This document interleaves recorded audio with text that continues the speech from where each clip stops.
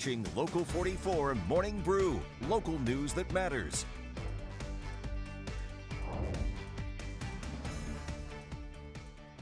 At this place in history, we're at the Vermont Military Museum and Library at Camp Johnson, and we're chatting this week all about the Merci train. We've got one of the cars behind us, but we're missing Steve Perkins, the Executive Director of the Vermont Historical Society, who's actually waiting for us at the History Center in Barre, so we're going to hop on the interstate head on down there and catch up with him. All right, here he is. We found Steve. we're at the History Center in Barre, and we're all suited up and ready to talk about the Merci train.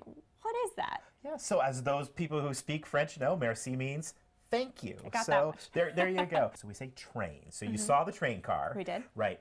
So there were 49 of those train cars, and they were packed full of stuff as thank you gifts to the people of the United States. We're immediately following World War II. So this train came over in 1949, but right after World War II, um, you know, of course, we had everything our military did during the war, but the United States sent a ton of aid to France, and a lot of it came in trains. And so the government said, let's send something to the US. So the government provided the trains, but the people and the businesses and the religious organizations of France, they packed it full of thank you gifts. So they collected all these items, packed these cars, brought them to the U.S., and then what? So there were 49 cars. Mm-hmm. So there were 48 states at the time. Right. And then the 49th car was split with half of the goods going to Hawaii and half going to Washington, D.C. So the New England cars came all together and kind of split up as they went into each state. And it came up to Montpelier. And there were big receptions around the car.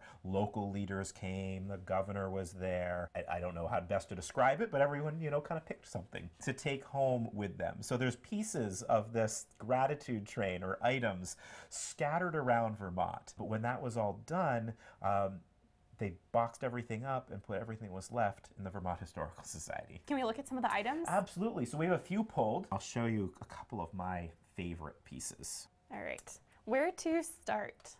Well, let's start with this book of hours. We don't know where this came from. It could have come from a monastery, it could have come from a church or a private home. These are very rare. That's completely hand done with gilding on it. Absolutely gorgeous. I also like this little clock over here. And what's nice with the clock is that we still have the label from it.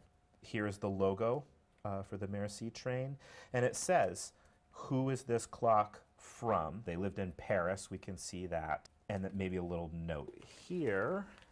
So this is a piece of the Arc de Triomphe, which, you know, as you know, is that big monument uh, in the middle of Paris. And Hitler shot some artillery at it for fun and knocked pieces off. It came in this box, and you can see the label uh, from the Merci train on the outside of the box. And then it had a note inside saying what it is. So I see a couple of boxes that are labeled toys. It's piqued my interest. Can we look at those? Yeah, well, let's look at the one on top here. Um, so, as we said, individuals gave things, churches gave things, businesses also gave things. And so the Renault car company, which, as we all know, makes full size cars, Right. gave a whole box of toy cars into every train. These are absolutely amazing in that they're all in their original packaging, really never been opened, never been used, and there's a whole box of them How just cool in is that? pristine condition. And uh, it's the the box is full of these cars. It's the same car, but they're all different colors. Oh, fun. And no, I have not wound one of and tried running it. That's really cool. At this place in history.